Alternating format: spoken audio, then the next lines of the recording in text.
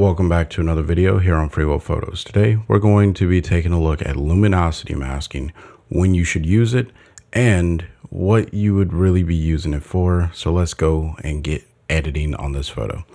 Now the photo in front of you, I have already added um, all of my develop settings that I think I want to add to this image, right? I chose my camera profile and then I use AI auto and made a few manual adjustments there. No big deal. Now, luminosity masking is super easy inside of ON1. What I'm gonna do is add a tone enhancer. Now, you're gonna have to bear with me for a minute because uh, I'm gonna make this photo look pretty trash, all right? I'm gonna pull down on the exposure and I'm even gonna pull down on the blacks there. I'll probably compress it a little bit uh, and I'll even crank up the details and the clarity. All right, so as is, this photo does not look very good. But as soon as I come to my mask and I click this button that says Lumen, it restores a lot of the information back to the image. And let's just take a look at the mask. So what it's doing is it is selecting the image or parts of the image based off of the brightness values. So the brightest areas of the image are going to be white and the darkest areas of the image are going to be black. Now, when you're making a mask and you want to select the brightest areas or the darkest areas, you've probably already seen me do this in other videos. Um, well, the luminosity mask makes it easier for you to find those darker and brighter areas. Now, if I only wanted to apply this adjustment to the darker areas, what I would do is hit invert and now it is selecting the darker areas in my image. And you you have a little bit of control over how well it selects those areas.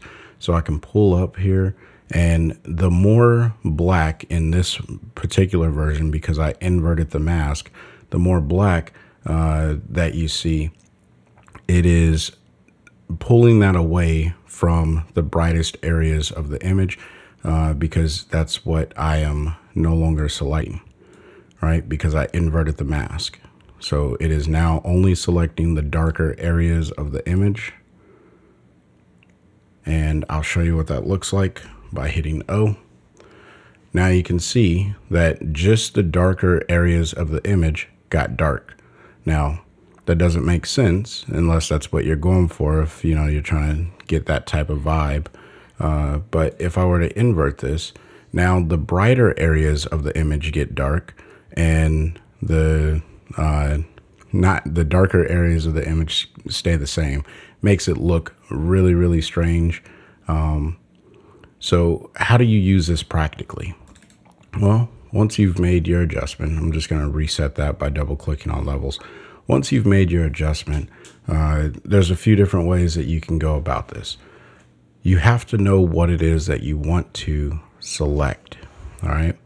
Uh, if you only want to select dark areas after you've made your adjustment, then then you can just pull down on this uh, the window, and what what it's doing is it is eliminating all of the brightest colors or brightest values, not colors. There's no color involved with this.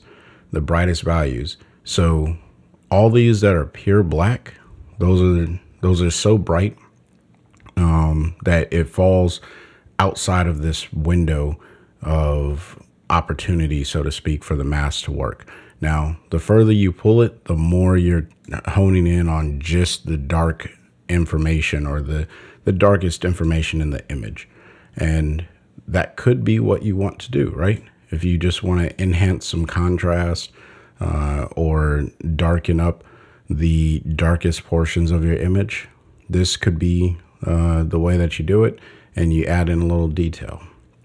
On the flip side, you can invert that and focus on just the brighter areas. So maybe you have some really, really bright areas and you want to only pull down on the bright areas. Now, mind you, you can still paint on this mask, right? Uh, the luminosity mask just makes it easier for you to target based off of the brightness values of your image. And it doesn't matter what effect you're using, the luminosity mask uh, can be applied. So that was with a tone enhancer. Let's take a look at using a split tone filter. So we'll click on split tone. And I am going to apply the luminosity mask right off the bat. And I am going to pull it away from the shadows. So I am only applying this split tone to the brightest areas of my image, which means my highlights are going to get more of this uh, adjustment. If I hit O, you can see that in these darker areas, I'm not targeting those as much. But where there's gray, that means that there's going to be some information uh, put in from the split tone. Now, this is a little counterproductive uh, for you know the purpose of using a luminosity mask on a split tone but if you really just want to target your your highlight areas and maybe touch a little bit of the shadows. We'll make the shadows red so that way you can really see what it may be affecting. And we'll crank up the amount on the shadows. You see how this gives a more natural look to your split tone? Uh, if you didn't have the luminosity mask, this would not look the same, right? So this is why luminosity masking is so cool you have complete control over how your uh, effects, whatever it is that you're adjusting, you have complete control over how that blends. As you can see, if I want it to be more towards uh, targeting the mask for um, the brightest of the brights and really making the, the transition between the darks and the brights more harsh, as you can see, it happens, right? That's what this mid-tone is. So at what point does the darkest portion of your image transition to the middle grays and then from the middle grays to the whites? Now, I know that that may sound a little confusing, but the more you play around with this, the better you will get at it. Now, one of my recommendations when using a luminosity mask is pay attention to if the feather can be value added to your editing. If you click on uh, the feather and you drag that up, you see how it's blurring my mask a little bit? Uh, to me, it helps with applying an effect a little bit more natural. Like when there is, and it doesn't work so well with this image, uh, other than there's like these harsh colors that are on this pole and you can see it on the anchor. But as soon as I hit the feather, it starts to blend that a little bit more natural. So as I make my adjustments, uh, we'll go with like a blue. And we'll crank up the amount. Not that that looks any better, but you can you can kind of see what's happening uh, more.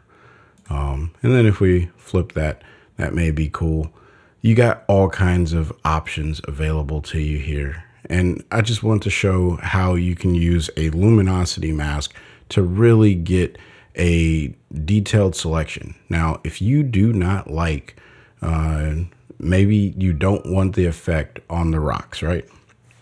So I'm going to make my brush really large and I'm on paint out. And all I'm going to do is click over this brush or over this rock using my brush. And now I no longer have the effect there because I just got rid of it. Or maybe you want the effect to go all over this anchor because that's just the way that you want to edit. You can click and drag all the way over the anchor. You're still getting the selection around everything else and you can use even the perfect brush. So if I hit Command R, I can use my perfect brush and look, I'm staying within the lines of the anchor by itself and it's not going out like it did on the left side of the anchor there.